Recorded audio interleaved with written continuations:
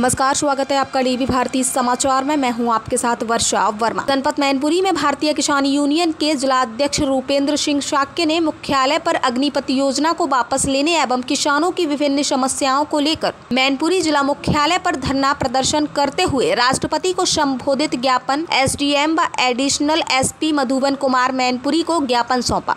उसके बाद किसानों को धरना प्रदर्शन करते हुए कहा कि अग्निपथ विरोधी प्रदर्शनों में शामिल युवाओं के खिलाफ दर्ज सभी झूठे मुकदमे वापस लिए जाएँ और आंदोलनकारियों को नौकरी से वादित करने जैसी शर्त हटाई जाए। मैं रूपेंद्र सिंह साहब, जिला अध्यक्ष मैनपुरी भागी आज जो ज्ञापन सौंपा वो अग्निपथ योजना के खिलाफ में ज्ञापन सौंपा है, जो हमारी सरकार है युवाओं के साथ में खिलवाड़ कर रही है, और बारम्बार कभी हम किसानों के साथ खिलवाड़ कर रही है, कभी युवाओं के साथ खिलवाड़ कर रही है, कभी हमारी सेना के साथ भी खिलवाड़ करती है, ये हमारी सरकार। तो अपने युवाओं का भविष्य को मद्देनजर रखते हुए ये ज्ञापन दिया गया है, जो सरकार ने चार साल की फौज की नौकरी जो रखी है तो ये कोई नौकरी थोड़ी हो सकता है ट्रायल होने का कोई। क्या प्रभाव पड़ेगा? युवाओं पे क्या प्रभाव पड़ेगा इसका? युवाओं पे तो सीधा सीधा प्रभाव पड़ेगा। जी। उनके भविष्य पे हो सकता है उनकी शादी भी ना हो जी।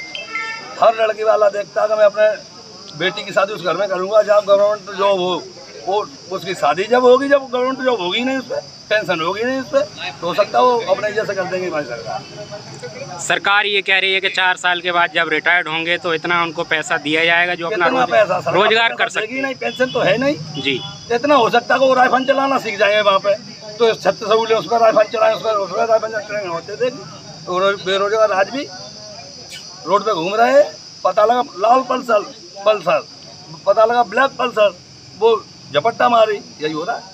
तो शासन से क्या मांगे आपकी? सरकार से मेरी मांग है कि जैसे विधिवत तरीके से पहले भर्तियाँ होती आ रही सर्विस चलती रही वैसे ही करें हट हट धर्मता न करे सरकार।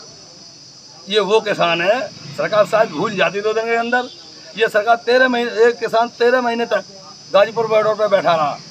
हो सकता है तेरह साल युवाओं के चक्कर में बैठा नहीं तो अगर आने वाली पीढ़ी हमारी समाप्त हो जाएगी। तो उसके लिए हम तेरह साल तक बैठ सकते हैं रोड पर ठीक।